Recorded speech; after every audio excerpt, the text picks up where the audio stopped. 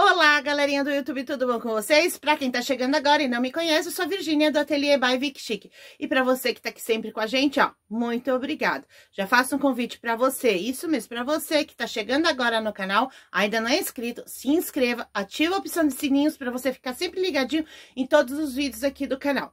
Tá joia?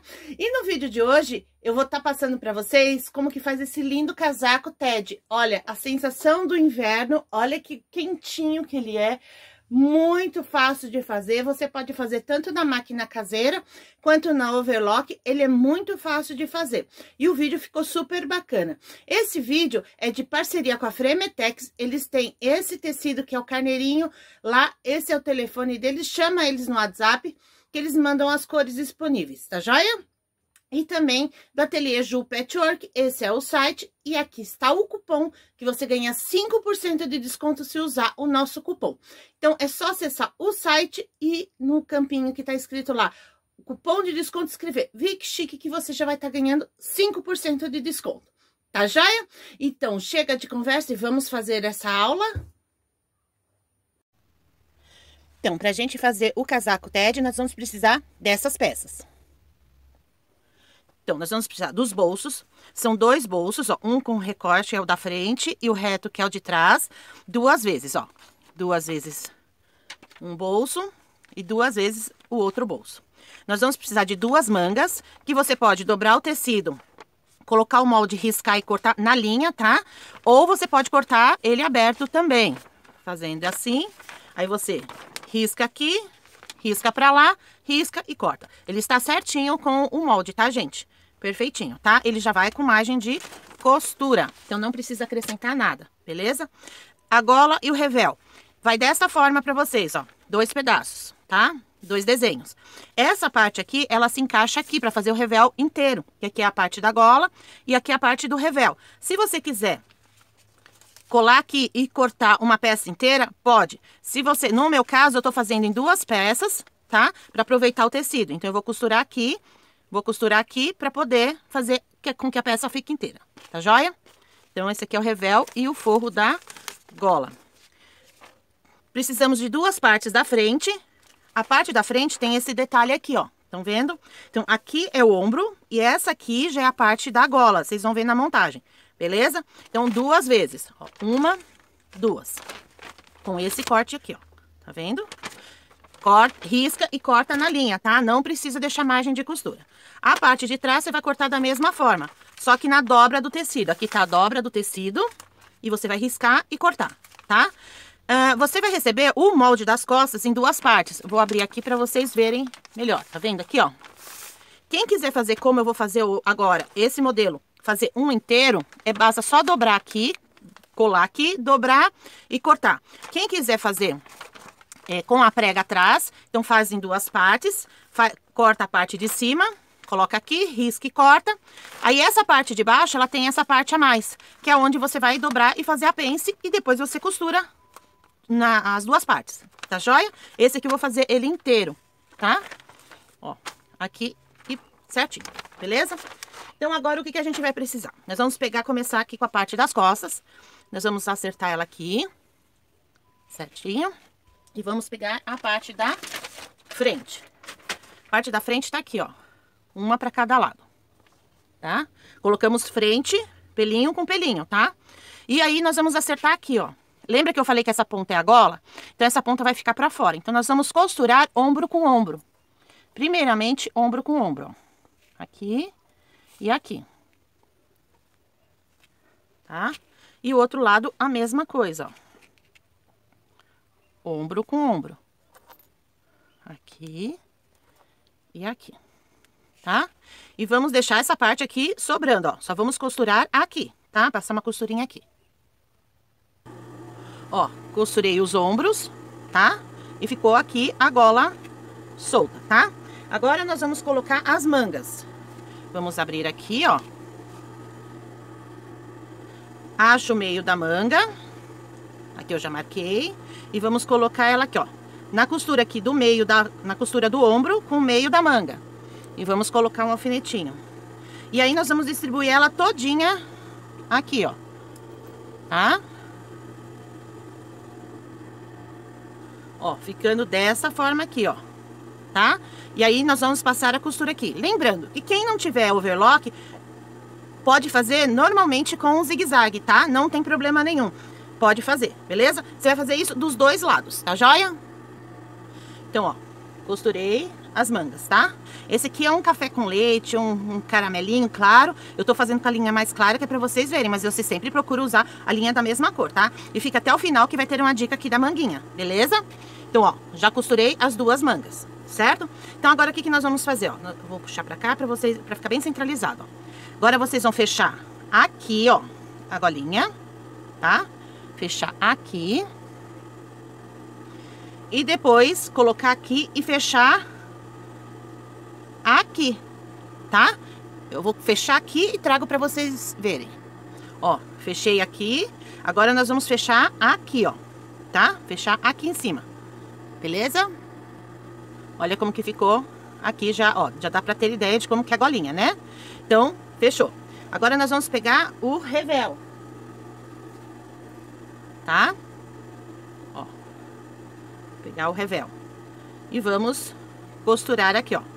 Quem fez ele inteiro não vai precisar fazer essa costurinha. Como o meu eu falei que eu, eu para aproveitar o tecido, eu fiz em duas partes, então eu vou ter que costurar aqui, tá? No molde vão ser duas partes. Você pode, como eu falei, cortar dessa forma ou fazer ele inteiro. Ó, e já costurei também a parte de trás da nossa gola, tá? Aí nós vamos pegar aqui, ó, vamos virar e acertar ela aqui. E vamos pegar o meio dela e vamos colocar com o meio aqui também. Mas observando que, ó, o revel tem a curva e aqui também tem a curva. Então, você tem que colocar curva com curva, tá? Então, ó, vamos colocar aqui, ó, frente. Aqui, ó, tá a costura. E aqui a costura. Então, frente com frente. E vamos pôr um alfinete. E vamos distribuir ele todinho aqui. Tá? Ó, bem certinho aqui, ó. Certo? Fazer tanto de um lado quanto do outro. É bom você alfinetar, mesmo você tendo uma certa experiência, porque como ele é cortado em curva aqui, ele pode torcer na hora da costura. E você colocando o alfinetinho, não corre esse risco, tá? E vou colocar nessa volta e vou fazer a mesma coisa aqui do outro lado, ó. Colocar os alfinetinhos. Ó, eu coloquei aqui na parte de cima da gola pra vocês verem. E a parte de baixo aqui é só vocês esticarem Aqui, ó. Opa. Aqui e vim e costurar também, tá bom? Vou passar essa costurinha e já volto. Então, ó, costurei todinho, ó. Tá vendo, ó? Costura todinho, ó. Ele fica com essa voltinha aqui, tá? Ó. Acerta aqui. É muito fácil fazer esse casaco, viu, meninas? Muito mesmo, ó. Aí aqui você só dá uma, uma costuradinha aqui, ó, juntando essa costura, que é o revel, né? Com aqui embaixo, ó, com a golinha. Uma pequenininha costurinha só, só assim, quer ver, ó? Vou fazer até aqui sem parar o vídeo, só pra vocês verem, tá? Mas primeiro tem que passar o acabamento em toda a volta, um overlock ou um zigue-zague, tá? Aí você vem aqui e dá uma costuradinha aqui, que é só pra segurar a gola, pra ela não ficar... É, saindo pra fora, né? Desvirando, ó. Aqui, tá aqui. Eu vou fazer pra vocês verem, tá? Só pra vocês verem, olha como que tá ficando. Tá certo? Ó. Aqui, na dobrinha, ó. Aqui já tá quase pronto. Agora vamos para os bolsos, tá? Então deixa eu virar aqui pra gente vir os bolsos. Aqui é o lado de, da frente, tá? Esse é a frente, aqui é as costas do casaco. Ó, a parte da frente tem aquele recortezinho, né? E nós vamos pegar o bolso que tem um recortezinho, nós vamos encaixar aqui, ó. Tá? E vamos costurar ele. A mesma hora, ó, aqui. Aí a gente vai acertar bem acertadinho aqui, ó, todo mundo, tá? Vamos virar pro lado de trás, certo, ó. Tá aqui o bolso. Ó, vamos acertar ele bem certinho aqui. Acerta aqui a cava. Acerta a cava, tá, gente? Porque se sobrar um pouquinho, torcer um pouquinho o tecido e sobrar aqui, você corta aqui embaixo, tá? Então, você acerta vai pela cava aqui, ó.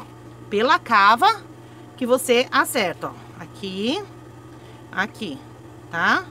E aí nós vamos colocar o bolso redondo, que é esse aqui, ó, que não tem corte, o reto, né? E vamos colocar na mesma direção, ó. Vamos ver aqui, ó, na mesma direção, ó. E vamos pôr uns alfinetinhos. E aí, agora nós vamos costurar. Costurar aqui e costurar aqui, os dois lados, tá? Então, ó, costurei as duas partes dos bolsos, tá vendo, ó? Frente e costa. O que que agora a gente vai fazer? Vai alinhar todo mundo, colocar o alfinetinho pra não sair do lugar, aqui, ó. Tá vendo? Aqui. Vamos acertar aqui, ó, a cava embaixo do braço. Vamos colocar também um alfinetinho pra ficar bem certinho. Lembrando que dá pra você fazer tranquilamente com a máquina caseira, com a zigue-zague, tá? Ó, e aqui a manga. Então, agora o que, que a gente vai fazer? Nós vamos vir com uma costura da manga, vir até a cava. Da cava, a gente vai descer até aqui a entrada do bolso. Fechar toda a volta do bolso. E vir fechar aqui embaixo, tá? Então, nós vamos fechar todinha aqui a lateral do casaco, dos dois lados. Olha só que lindo, ó. Já passei aqui o acabamento aqui na, late... aqui na bordinha, né? E como eu falei, ó, dá só um pontinho aqui pra gola não ficar indo e voltando, né? Ó, aí você acerta aqui. Já fechamos a manga, ó. Ó como que fica o bolso aqui dentro, os dois bolsos, ó, os dois bolsos. Do lado de fora, olha como que fica o bolso. Fica desse jeito aqui, ó, vendo?